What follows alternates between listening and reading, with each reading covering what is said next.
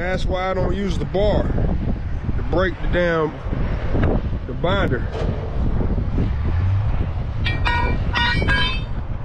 I'm not gonna stick it up here and try to break it because I won't be able to handle the recoil when it pops up.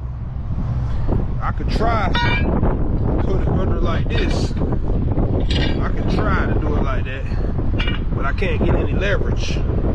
Maybe if I had a piece of wood or something, I could get some leverage. So that's why I don't use the bar. Or I could just hit it like that and try to beat it off. But that's slow process. So that's why I put my hand under the binder like this. I don't have a glove on right now because I'm just showing you.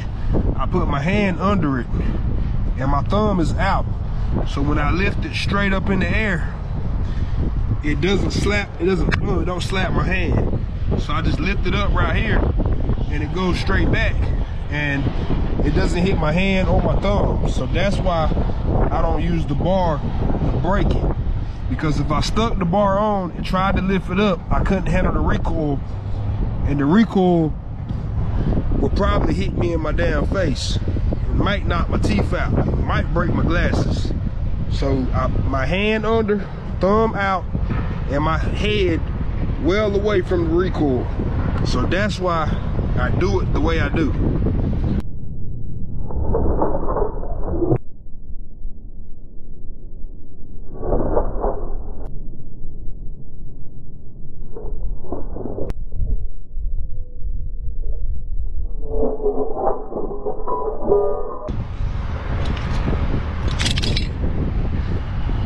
That's the way I do it.